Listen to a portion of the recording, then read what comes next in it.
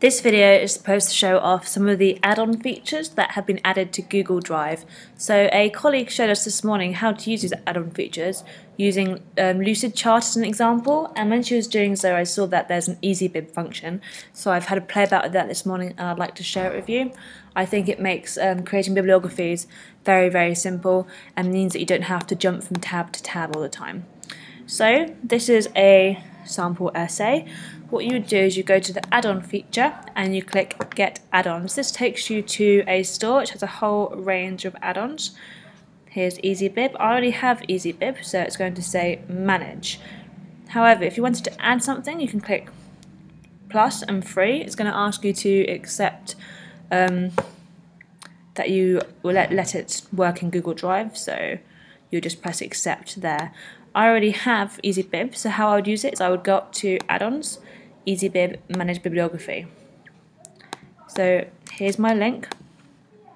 It's going to ask me what's the source type. Is it book, journal, article, website? Again, it's not as um, advanced as the website, which gives you a lot more options, but these are the ones that people use the most. So I'm going to put in the the website address.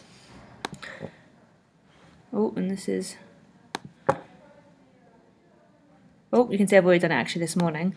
Um, it comes up there for you. What I was doing by mistake when I was playing about with it is I kept every time I found a resource and made the citation, I'd press add bibliography, add bibliography to. I'm not speaking right. Add bibliography to doc, and it would go works cited and have that link. And then every single time I added it, it would add like a separate bibliography. Um, so what you do now is it actually builds in here for you, and then when you've got all of them, you click add bibliography to doc and it will come at the bottom.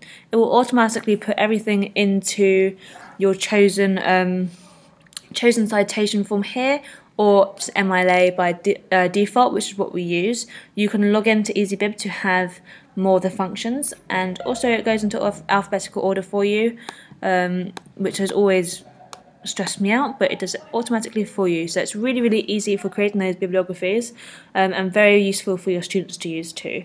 So have a play about with that and play about with the other add-ons. Again, they are found in add-ons, get add-ons. Enjoy!